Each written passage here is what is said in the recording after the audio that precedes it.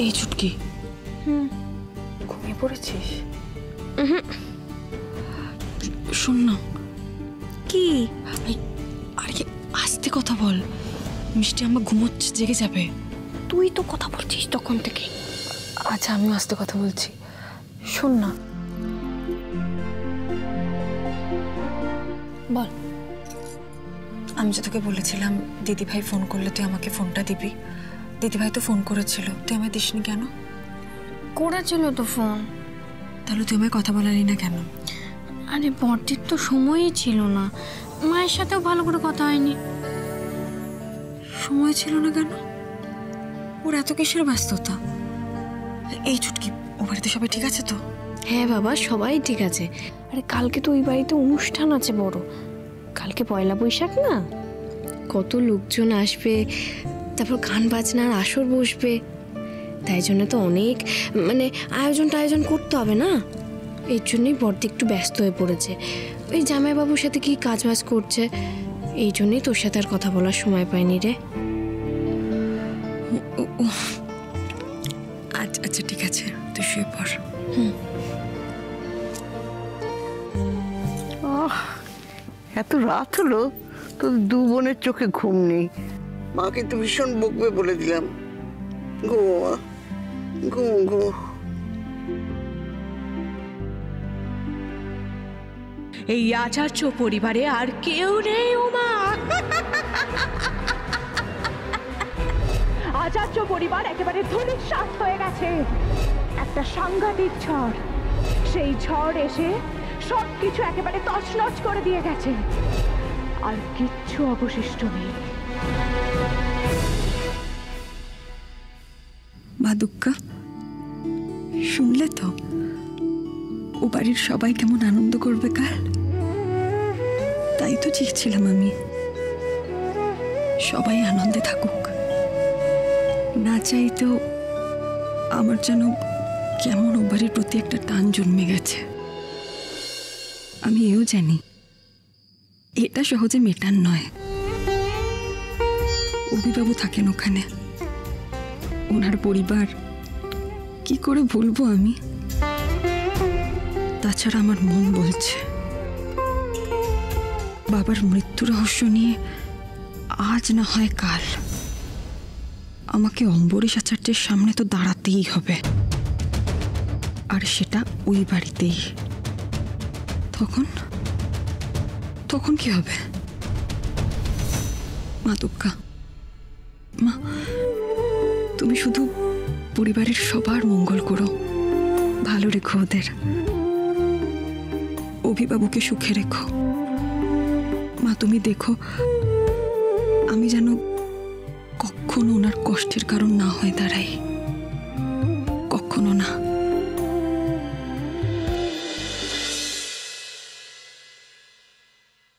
সুন্দর করে লাগাই এরা।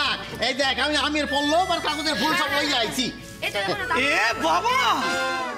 আরে এটা কি হচ্ছে? কি হচ্ছে মানে? আরে কি হচ্ছে মানে? ছি ছি ছি সব শেষ হয়ে গেল। মানে তোদের দ্বারা মানে- ছি ছি ছি ছি। লজ্জা। লজ্জা লাগা দরকার। কি করেছিস সেটা বলবি? আরে কিছুই তো করিসনি। আমার বউকে সাদরে বরণ করবি বলে আমাকে ওকে ডাকতে পাঠাচ্ছিস। আর তোরা দেখ এখন অব্দি ঘর সাজাসনি কোনো কাজের না তোরা। তোর এখন ঢেকে জানিস তো? মামামকে বলতে হবে। আরে মামাম কোন ইউজলেস তোর কাজ দিয়েছ মামাম মামা আরে আমি কি করছিস? আরে কি জানিস তো? তুমি এত এত ঝামেলা কি? ঢেঁড়স। না, না, এত এত ঝামেলা কি? তুই ঢেঁড়স আরে পামকিন ঢেঁড়স দুটোই ভীষণ উপকারে হয়েছে যাবে তোমরা থামবে। শোন না তুই তুই তুই এতটা দুশ্চিন্তা কেন করছিস? আমি তো আছি আমি সব সামলে নেব। আমি তো আছি সবটা সামলে নেব। হ্যাঁ। তা আমার সাথে যাবেটা কে? আমি আমি যাব যাব না। মানে আমি আমি অনেক ভেবে দেখলাম আমার না না যাওয়াটাই ভালো বুঝলি? আমি বরঞ্চ এখানে থাকি এখানে এখানে অনেক কাজ আছে।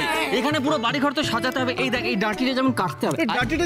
কেটে ওখানে ফিট কর বললে তো হবে না অরবিন্দু? কেন? আমি তো বলে দিয়েছি পয়লা বৈশাখ কার কি দায়িত্ব সেই অনুযায়ী পালন করবে। তাহলে তুমি বৎস ঝ্যাঁটার মতন রজনীগন্ধার ডাঁটি ধরে ঘুরে বেড়াচ্ছ কেন এখনও?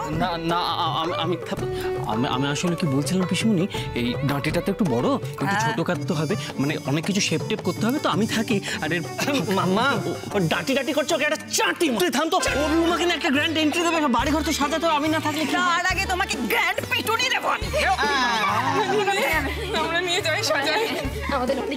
আমি থাকলে ভালো হতো। ঠিক বলেছিস দিদিয়া। এই অরবিন্দু তোকে অভিকে মোরাল সাপোর্ট দিতে যেতে হবে। আর যদি অভি ওর বউকে না নিয়ে আসতে পারে তাহলে না এই বাড়িতে তোর এন্ট্রি হবে না অভির এন্ট্রি এই কথাটা মনে আছে তো? আমি কি করলাম? হেল্প করছিলাম তোকে দিয়েছে? এই যাবে মরাল সাপোর্ট দিতে? হ্যাঁ? সাপোর্ট দেওয়ার জন্য স্ট্রং হতে হয়। একে দেখ কীরকম হেলছে। একে দিয়েছি সাপোর্টের পাট আমি এত সময় নষ্ট করছে এখানে গাল গল্প করে। আমার ছেলেটা বুড়ো হয়ে গিয়ে তারপরে বুড়ো অবস্থায় যাচ্ছে বউ আনতে। এইসব হবে নাকি হ্যাঁ? বেরো এতটা রাস্তা যেতে হয় বেরো তো তোরা। আরে অভি অভি শাড়ি আর গয়নাটা নিয়ে যা। নইলে দেখলাম যে বউকে নিতে যাওয়ার আনন্দে আত্মহারা হয়ে সেই সবই ভুলে যাচ্ছিস। শাড়ি আর আত্মহারা নয় শুকিয়ে গেছে আমার ছেলে ভয়ে। বাঘিনীর সঙ্গে যুদ্ধ করতে হবে না? দেখে টিকা পরিয়ে দিই তো। চলো। তুমি যুদ্ধ জিততে যাচ্ছ। বাবা। হেঁচকি তুলবে না একটু পরে। হ্যাঁ। জল নিয়ে এসো। এই ছেলে তো শুকিয়ে যাচ্ছে। হ্যাঁ। জল খাবে তো? হ্যাঁ। এই।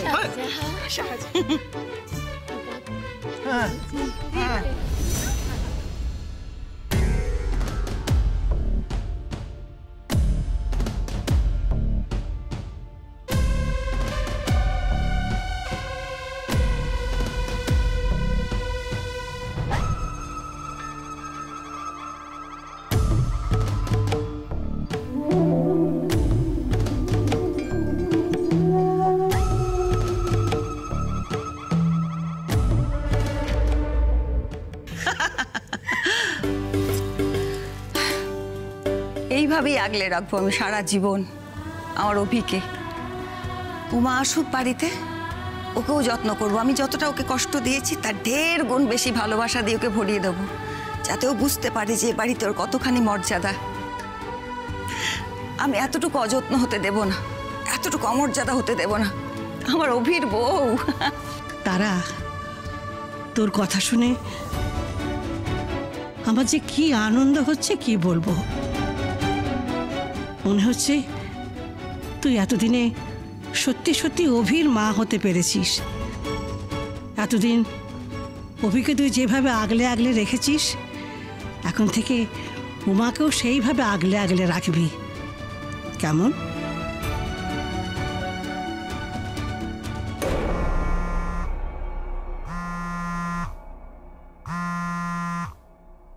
হ্যাঁ আলিয়া বলো। আঙ্কেল আমি কিন্তু না শুনব না। দেখো তোমাকে আমার একটা খুব ইম্পর্টেন্ট কথা বলার আছে। সো প্লিজ আমাদের এক্ষুনি মিট করাটা খুব দরকার।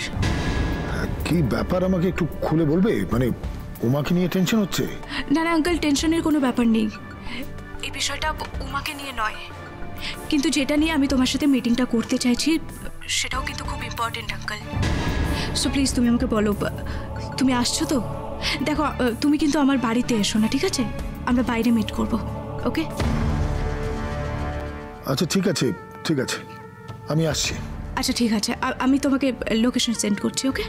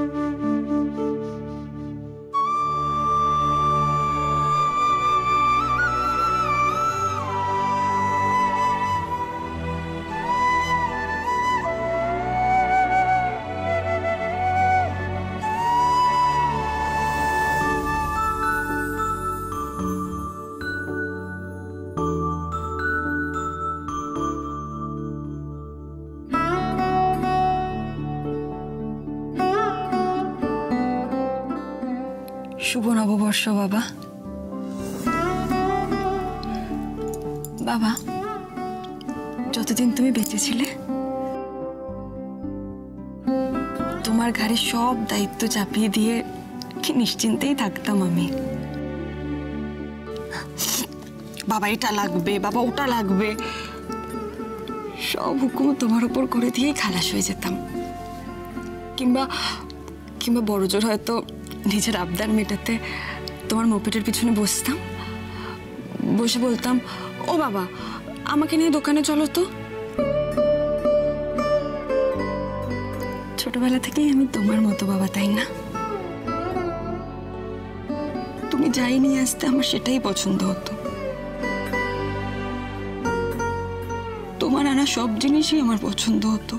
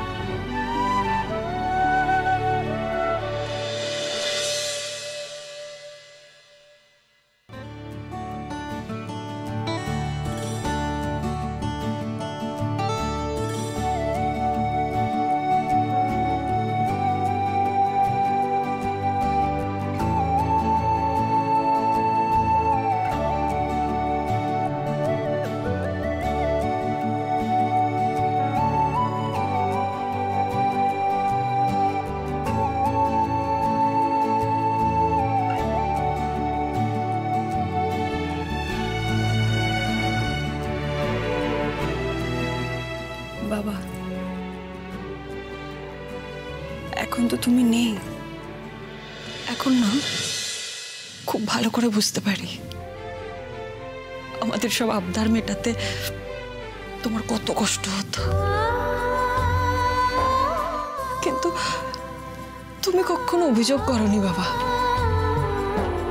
তুমি কখনো বলনি পারব না।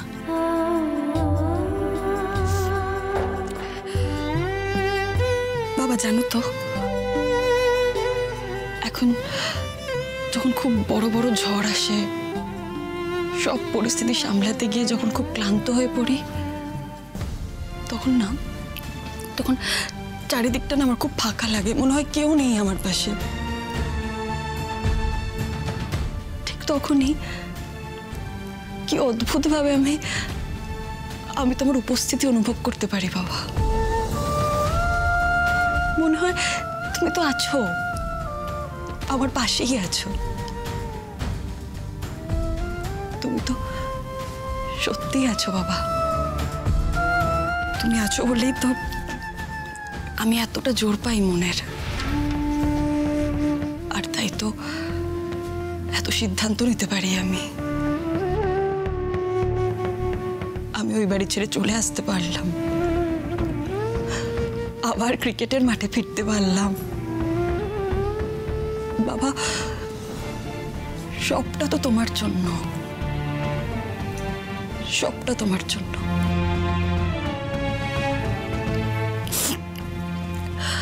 বাবা, জানো তো, আজ না তোমাকে খুব মিস করছি। খুব মনে পড়ছে তোমার কথা। বাবা আমি কাঁদছি বলে কিন্তু তুমি ভাববে না, উমা এখনও আগের মতো কান্নাকাটি করে। তোমার উমা এখন অনেক শক্ত হয়ে গেছে।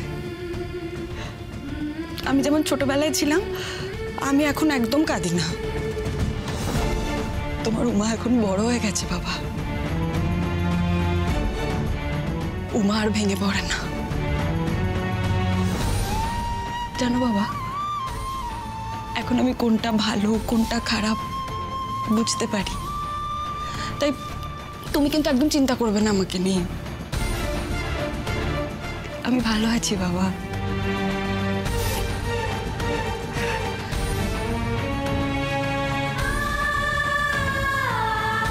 তবে আর একটা কথা। আমি জানি না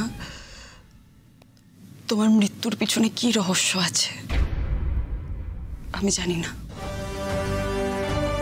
কিন্তু যে রহস্যই থাক, যেই থাকের পিছনে, আমি প্রত্যেককে খুঁজে বের করব বাবা। আমি এর শেষ থেকে ছাড়ব।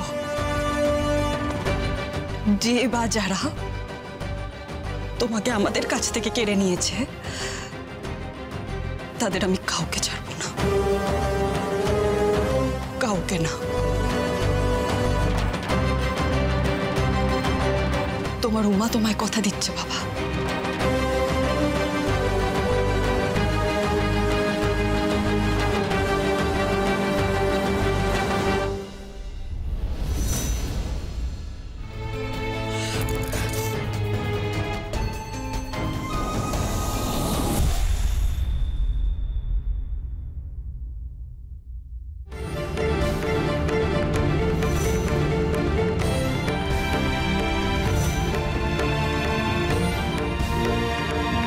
বাবু।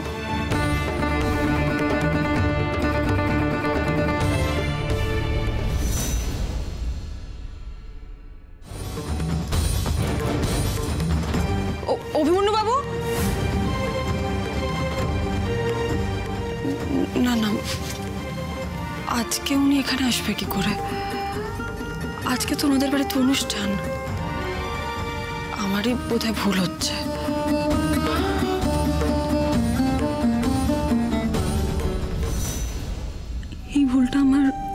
কেন হলো?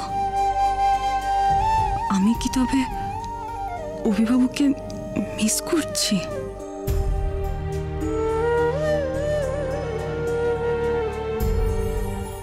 উমা?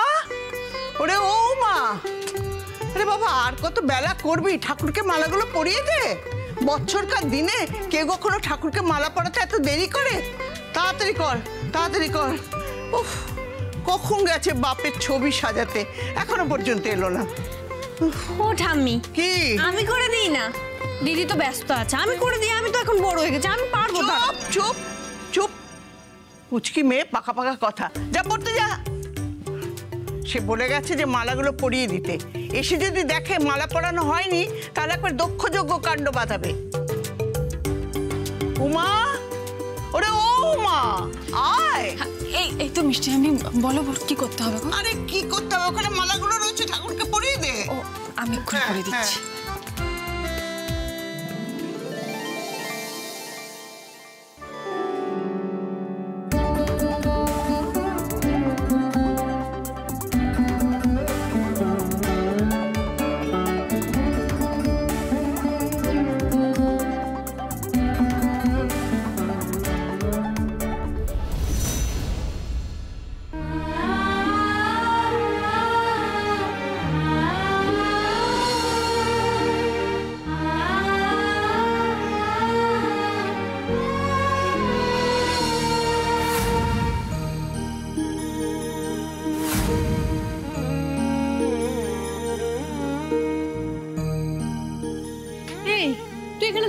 করছিস? ঠাকুর তো ওখানে তুই এখানে দাঁড়িয়ে কি করছিস বলতো? ছুটকি শোন না আমি না ওখানে কি? ও খসখস আওয়াজ হচ্ছে তো? রামু কাকার ছাগল আছে না? ওই শুকনো পাতাগুলো খাচ্ছে দেখ। আমি তোর বাবা না রে আমি ওখানে কাকে একটা দেখলাম। কি? ও অভিদাকে দেখতে পাচ্ছিস তো? হয় রে এরকম হয় আমি জানি হয় এরকম। তোমাকে একটা গট্টা মারবো। আমি কি বললাম আমি অভিদাকে দেখতে পাচ্ছি? খালি পাকা পাকা কথা না জাগিয়ে পড়তে পাস আরে তুই এভাবে বললি তাই জন্যই তো আমি বললাম। আহ তোরা থামবি।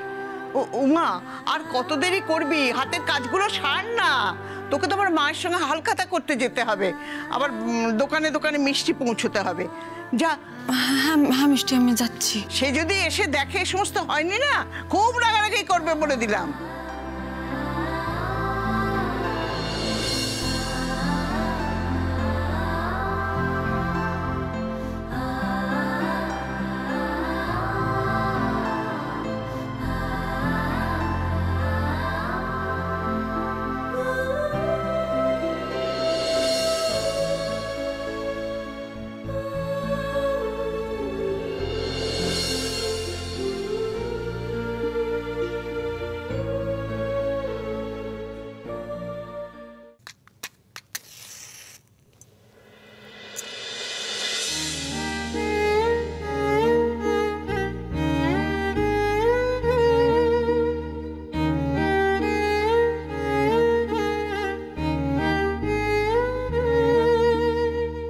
এসব কি হচ্ছে আমার সাথে?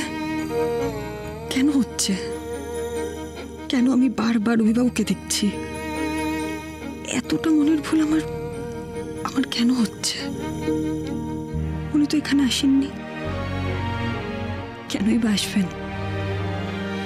আমি যখন ওনার সঙ্গে সমস্ত সম্পর্ক ত্যাগ করেছি, তখন তখন বারবার এইভাবে ওনাকে কেন দেখছি আমি, ঠাকুর?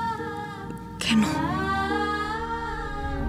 বলো আলিয়া এত আর্জেন্টলি তুমি আমাকে ডেকে পাঠালে ব্যাপারটা কি? কথাটা কি বলো? আঙ্কেল তোমাকে আমার একটা ইম্পর্টেন্ট কথা বলার আছে কিন্তু তার আগে তোমাকে আমার একটা প্রমিস করতে হবে। হ্যাঁ আমি প্রমিস করছি। আমি তোমার কথা কাউকে কেন বলতে যাব তুমি বলো? দেখো আঙ্কেল আমি তোমাকে এখন যে কথাগুলো বলতে চলেছি সেগুলো শুনে হয়তো তুমি প্রথমে একটু শকড হবে। হয়তো তুমি আমার উপর রেগেও যেতে পারো। কিন্তু আঙ্কেল বিলিভ মি উমার মুখোমুখি দাঁড়িয়ে লড়াই করতে হলে এর থেকে ভালো উপায় আর নেই। না না আমি রাখব না। কেন রাখব আমি? দেখো তোমার উপরে আমার যথেষ্ট বিশ্বাস আছে। আমি জানি তুমি যদি কোনো প্ল্যান বানিয়ে থাকো তার পেছনে চিন্তা আছে তো। তুমি বলো আমি শুনছি। ওকে তাহলে শোনো আঙ্কেল। উমাকে যদি আমাদের ডাউন করতে হয় উমাকে যদি আমাদের ওই বাড়ি থেকে তাড়াতে হয় তাহলে আমার ওই বাড়িতে ঢোকার রাস্তা ক্লিয়ার হওয়া দরকার। হ্যাঁ তুমি কি করতে চাইছো সেটা বলো।